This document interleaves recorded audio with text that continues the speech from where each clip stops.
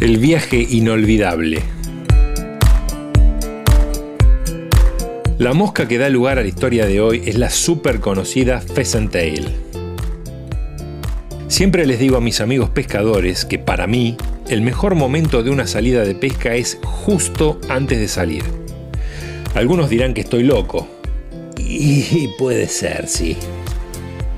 Recuerdo los instantes previos a un viaje de pesca como el momento perfecto todo está por venir y todo puede suceder. No hay frustraciones, ni fracasos, ni competencia. La previa siempre es perfecta. Luego, cuando todo comienza a desarrollarse, se revela la verdad y no siempre esa verdad es como uno la soñó. Pero la previa es siempre emocionante y perfecta. Un entusiasmo único, distinto a todo lo demás. Nunca voy a olvidar esa previa, el preámbulo de mi primer viaje a la Patagonia a pescar truchas. Me acompañaba, cuando no, mi viejo amigo de aventura Fernando Beisier. Resulta que mis viejos nos escucharon hablar que queríamos ir a pescar al sur. Y ellos tampoco se perdieron la oportunidad, así que nos invitaron a ir con ellos. Y por supuesto, aceptamos. Ya he contado esta historia en otro video y no quiero reiterarme, por lo que voy a ir al grano. La historia de la mosca. La Pheasant Tail es un clásico. En la escuela San Huberto fue una de las primeras que nos enseñaron. Y claro, para el viaje ya tenía atadas unas cuantas y formadas prolijamente en línea en mi caja de moscas, como si la caja fuera un portaaviones y las moscas pequeños aeroplanos listos para salir. Mi primera tarde de pesca ya había sacado mi primera trucha con mosca. Sin embargo, esa y las que siguieron eran de las clásicas pequeñuelas, esas que consuelan al pescador novato. Estábamos felices, probábamos moscas y caminábamos más de lo que pescábamos. Disfrutábamos cualquier cosa que se dignara a tocar nuestro absurdo artilugio emplumado. Pasamos una semana entera acampando mayo abajo. No existían entonces los famosos campings que hoy abundan en ese tramo del río. De modo que armamos campamento donde más nos gustó. Mis viejos nos dejaron y ellos se fueron a hacer su vida. El clima no pudo ser mejor. El día anterior a nuestra llegada estuvo lloviendo mucho pero desde nuestro primer día de acampe hasta el último, el sol estuvo ahí firme. Y el viento nunca sopló. Una semana perfecta. Pescábamos un poco a prueba y error. Ese era el método. Nos pasaba lo que a casi todos. En las clases nos explicaban cómo leer las aguas, la escuela tenía videos muy didácticos de referentes muy famosos del país del norte, Gary Borger, Doc Schweizer, Rick Haffele. En la clase nos quedaba todo muy clarito. Era muy simple de entender. Claro, pero al llegar al río, nos parábamos ahí, en el lugar elegido, y no podíamos leer mucho más que una corredera o un pozón.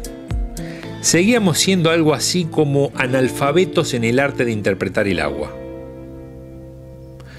Por inexperiencia o exceso de entusiasmo, nos levantábamos siempre demasiado temprano, a veces de noche. Era comienzos de abril y el sol en ese momento tarda bastante en iluminar el Valle del Malleo. Por las noches se lava y las mañanas eran durísimas.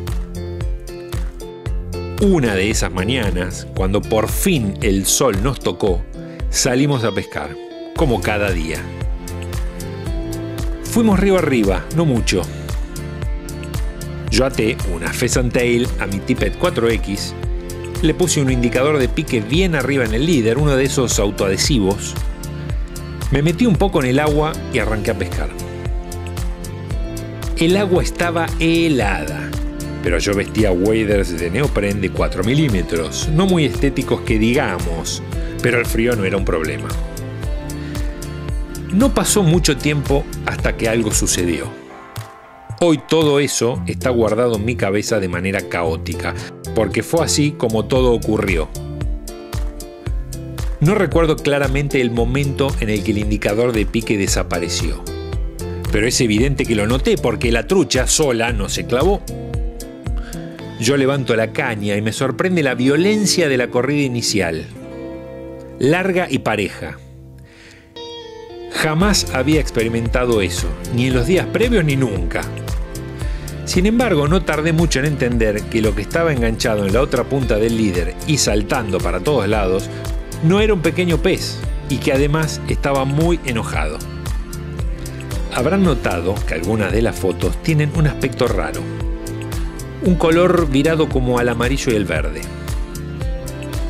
Durante la pelea con esa trucha arcoíris, mi sorpresa y emoción era tal que al intentar salir del agua, caminando hacia atrás, tropiezo con una piedra y caigo. La gélida agua me llegó hasta el cuello. Traté de incorporarme, me volví a resbalar, hasta que me paré.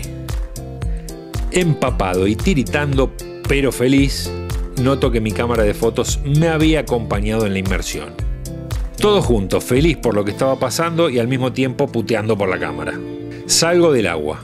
Por fortuna la trucha no se desprendió y pude terminar de arrimarla. Fernando la agarra con sus manos. Un arco iris maravillosa. No podía creer la trucha que acababa de pescar. Le digo a Fernando que me tome una foto. Y lo gracioso fue que en el momento en que Fernando está tomando la foto, la cámara chorreaba agua. Tiempo después, la intriga se develó. La foto pudo ser revelada y su extraño aspecto es el recordatorio más fiel de por qué este viaje fue inolvidable.